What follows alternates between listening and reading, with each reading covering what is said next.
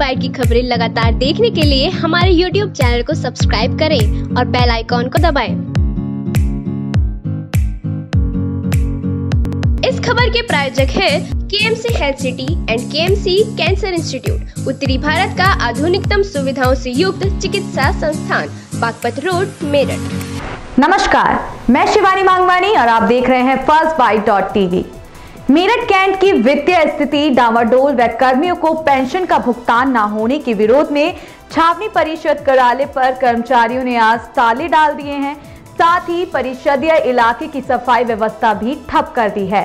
कर्मचारियों ने धरना प्रदर्शन करते हुए कैंट विधायक सत्य प्रकाश व बोर्ड सदस्य अनिल जैन के खिलाफ भी मोर्चा खोल दिया है।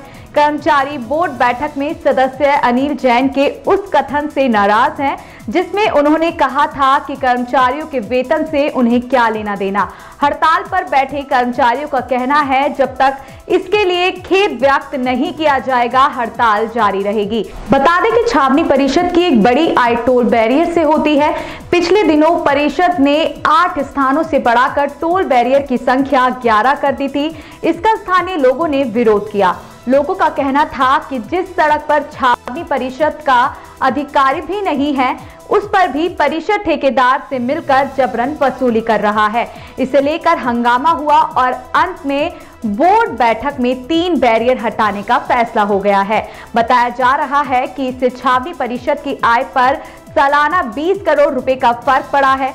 हाल ही में हुई बोर्ड बैठक में राजस्व बढ़ाने पर भी चर्चा हुई थी।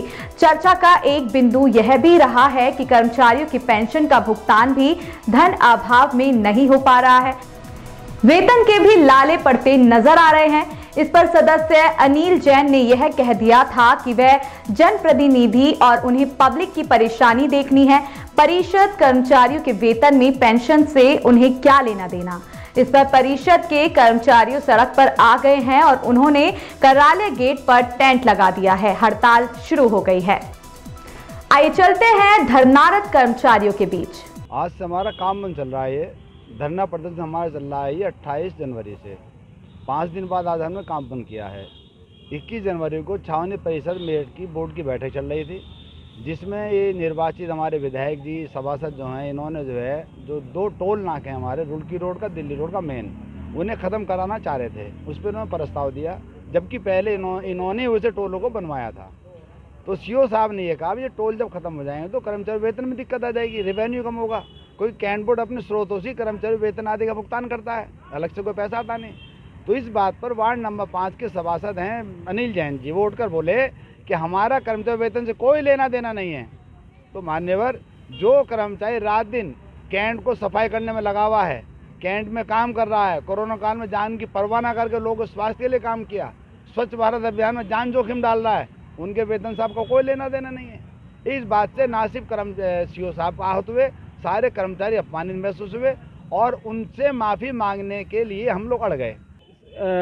एम साहब और निर्वाचित सभासद एवं उपाध्यक्ष द्वारा जो है हमारे मुख्य जो हमारे साहब हैं, उनके साथ अभद्र भाषा का प्रयोग करते हुए ये कहा कि हम जो है, हमें कर्मचारियों के वेतन, पेंशन वालों पेंशन के लिए और पेंशन भत्तों से कोई मतलब नहीं है, जबकि इन्हें भी यहाँ से वेतन मिलता है, ये भी यहीं से वेतन लेते हैं।